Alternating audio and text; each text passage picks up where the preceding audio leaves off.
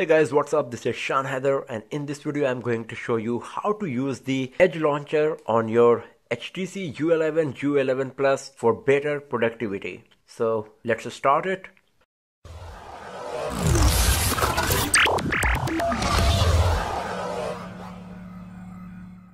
So as the name suggests, this launcher is based on the HTC EdgeSense. So to activate and use it, you will have to do it from the EdgeSense menu. So first of all, go to the settings. After that, scroll down, go to the EdgeSense. If you're not using EdgeSense so far, then you need to activate it. Just tap on this slider, go inside, and uh, after that, you need to go to any of these two options, either short squeeze or squeeze and hold. You can select any of these two, and on the list of action you will find the first option is edge launcher. So just select it. As you can see that previously it was launch camera application. Now I have selected edge launcher. This is what you have to do in the first step. Now if you use the edge sense by applying some pressure on the bezel you can see that edge launcher appeared on the screen. So what it shows is calendar and a list of applications. So you can see you can add many more applications here and then you can directly access them right from the edge launcher. And if you tap on this settings here you will find more options so the first one is edit edge launcher. If you tap here you will find multiple options once again. So the first one is remove panel. If you tap on this everything on this panel will be deleted. And here is an empty panel and then you can also add more panels depending on your requirement. So if you go to the first panel and if you tap on any of the application for example messages then this option will be highlighted that says remove selected item. If you tap on this messages will be deleted and a plus mark will come. And if you tap on it then this will be selected and then you can select any of the application contact or quick settings to place on this point. So for example if you tap on apps you can see lots of applications are there.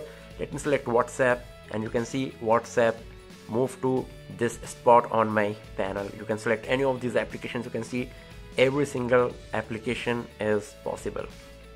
And you can do the same with contacts here as well. So if you go to the second panel and here if you want to add contacts so just tap on this or any of these. Then go to the contacts just tap on this drop down icon and then select any of these contacts. For example if I tap on this you can either select to direct make a call or send a text message.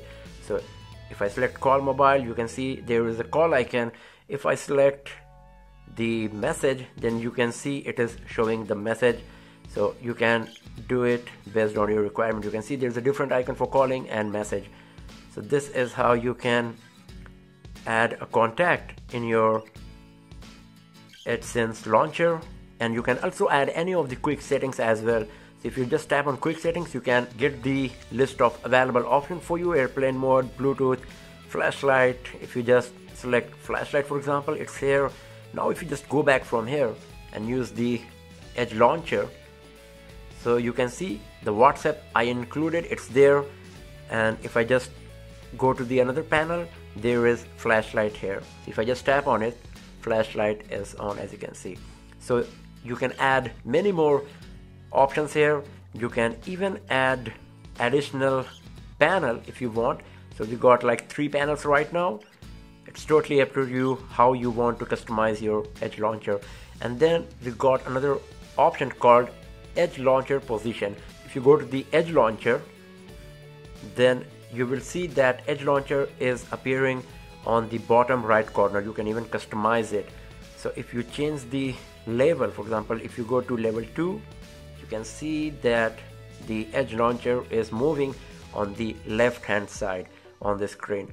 So depending on your requirement you can select any of these edge launcher position and then the third option is scroll into action.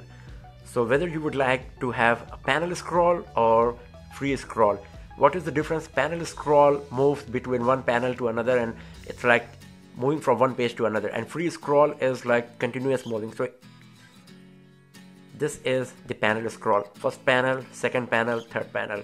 If you select the free scroll then the edge launcher will keep moving rotating like this. So depending on your requirement and your choice you can select any of these two options. For me panel scroll is easier so this is how you can use the edge launcher on your HTC U11 or U11 Plus to quickly access the application, check the calendar and improve your productivity.